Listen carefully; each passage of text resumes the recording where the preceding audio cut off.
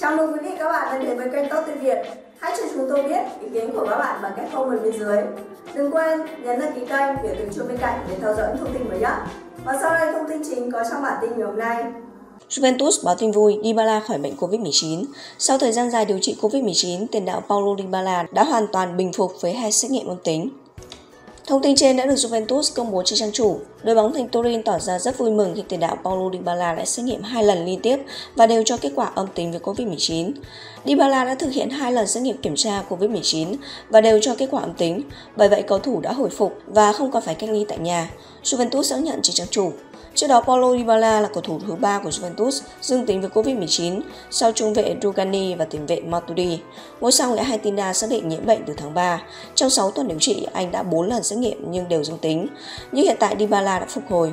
Trên Instagram, Dybala cũng chia sẻ niềm vui của mình với thông điệp Vẻ mặt của tôi đã nói lên tất cả, Cuối cùng, tôi đã vượt qua Covid-19. Đây là thông tin đáng mừng với Juventus trong bối cảnh chính phủ Italia đã cho các câu lạc bộ trở lại tập luyện từ ngày 4 tháng 5. Nếu không có gì thay đổi sau 2 tuần, bắt đầu từ ngày 18 tháng 5, các đội bóng Serie sẽ trở lại tập luyện bình thường và thi đấu trở lại trong tháng 6. Juventus hiện vẫn chưa trở lại tập luyện do có nhiều cầu thủ mới trở lại Italia từ nước ngoài, trong đó có trường hợp của Cristiano Ronaldo. Theo quy định, CR7 sẽ phải thực hiện cách ly trong vòng 2 tuần trước khi trở lại tập luyện. Nhà đương kim Serie đã tự trách mình vì không yêu cầu các cầu thủ trở lại Italia sớm hơn. Theo La Gazzetta, dù đã bình phục, nhưng Paulo Dybala vẫn cần theo dõi và chưa thể trở lại tập luyện. Cách đây ít ngày, anh từng khẳng định rất nhớ bóng đá và muốn trở lại sân thi đấu.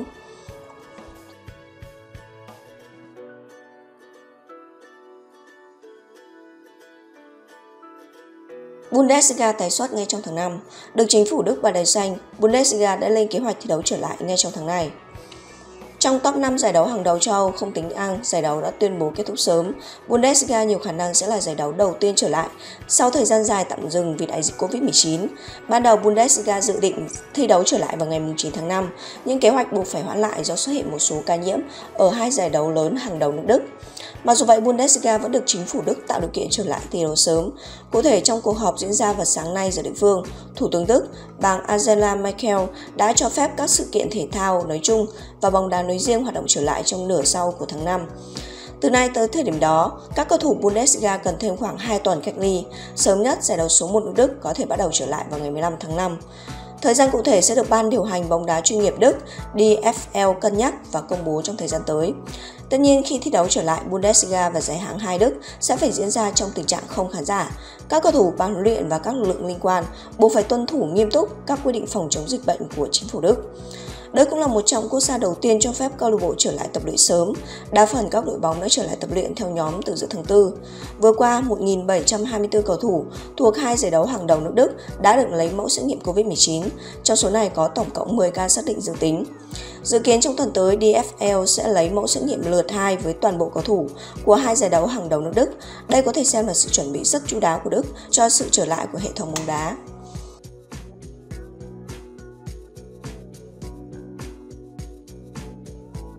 Henrik Mkhitaryan rất tình với Arsenal. Theo báo giới Italia, Henrik Mkhitaryan đã nói thẳng sẽ không trở lại Arsenal và muốn AS Roma hoàn tất bản hợp đồng mua được Anh càng sớm càng tốt. Sau khi gây thất vọng tại Arsenal, Henrik Mkhitaryan đã bị đẩy sang AS Roma ở phiên chợ hè năm ngoái theo bản hợp đồng cho mượn có thời hạn một năm. Tại Italia, tiền vệ người Armenia đã tìm lại phần nào phong độ với 6 bàn thắng cùng 3 cái tạo chỉ sau 13 lần ra sân ở Syria và trở thành cái tên được huấn luyện viên Paulo Fonseca đặc biệt yêu thích. Thuyền trưởng Roma đã thẳng thắn thừa nhận ông muốn Mkhitaryan ở lại Rome. Bản thân cựu ngôi sao Mai Tức được cho là cũng muốn tiếp tục gắn bó với đội chủ sân Olympico thay vì quay lại Everest, nơi mà gần như chắc chắn anh không còn chỗ đứng. Theo Corriere Daily Sport, Mkhitaryan đã thông báo với ban lãnh Arsenal về việc anh sẽ không có định trở về sự sử dụng mù.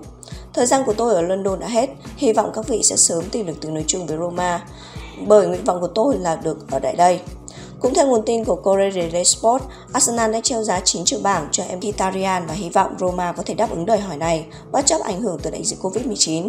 Đây được coi là đề nghị đầy thiện chí của pháo thủ, bởi tiền vệ 31 tuổi hiện vẫn được định giá vào khoảng 18 triệu bảng.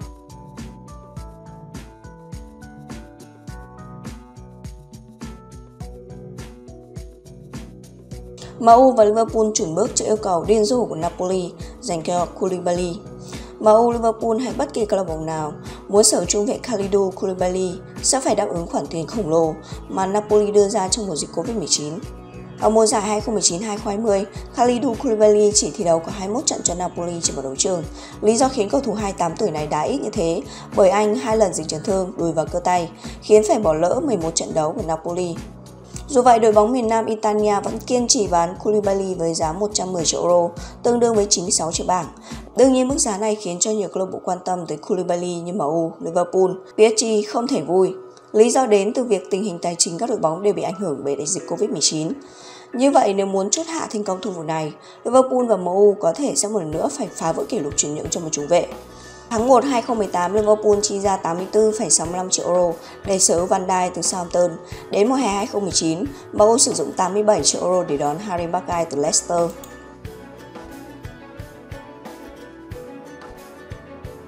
Sau ông Minh trung mâm với Angri, Ronaldo và Suarez, một hãng truyền thông tại Anh đã công bố danh sách các cầu thủ nước ngoài xuất sắc nhất lịch sử mỗi câu lạc bộ ngoại Anh. Đáng chú ý tiền đạo Son Min được bầu là đại diện xuất sắc nhất của Tottenham.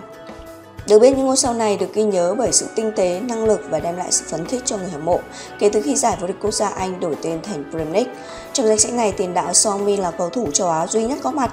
Theo đó, thủ quân đội tuyển Hàn Quốc được vinh danh là cầu thủ nước ngoài hay nhất lịch sử Tottenham Hotspur, dù mới chỉ gia nhập đội bóng này từ năm 2015. Khi đó, Son chia tay Bayer Leverkusen để gia nhập Tottenham với giá khoảng 22 triệu bảng. Dù đến từ khu vực châu Á, nhưng Son lại gây ấn tượng mạnh bởi tốc độ, tài năng và thể lực sung mãn. Những cái tên nổi bật khác có mặt trong danh sách này gồm Cristiano Ronaldo của MU, Thierry Henry của Arsenal, Didier Drogba của Chelsea, Sergio Aguero của Man City và Luis Suarez của Liverpool.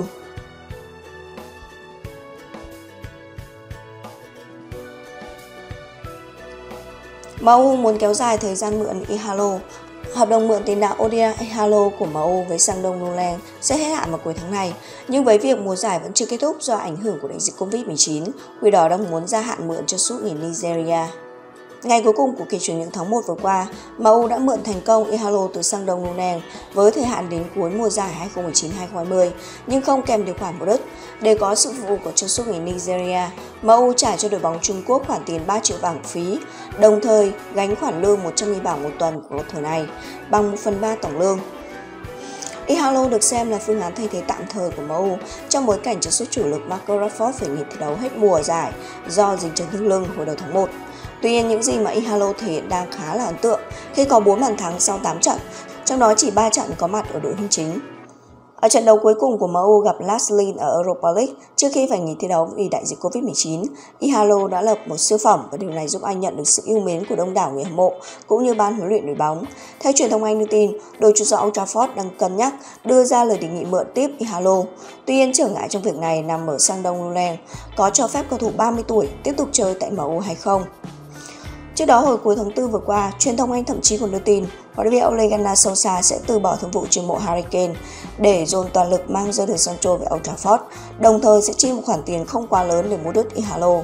Được biết mức phí của cựu cầu thủ Watford rơi vào khoảng 15 triệu bảng.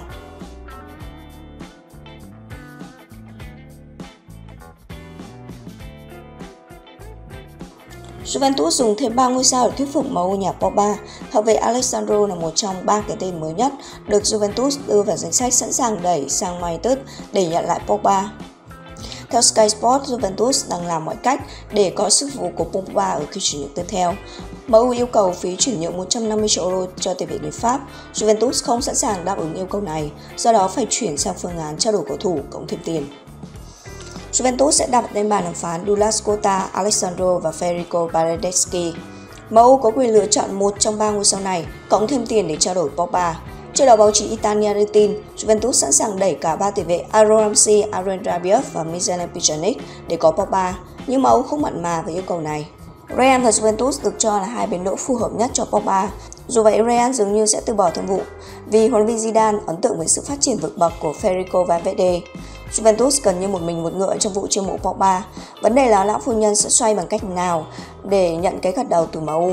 Costa từng là mục tiêu thay đổi của MU, song ngôi sao của Brazil chọn thỏa Juventus khi chia tay Ben. Costa có thể là phương án vá vào lỗ hổng cánh phải của MU.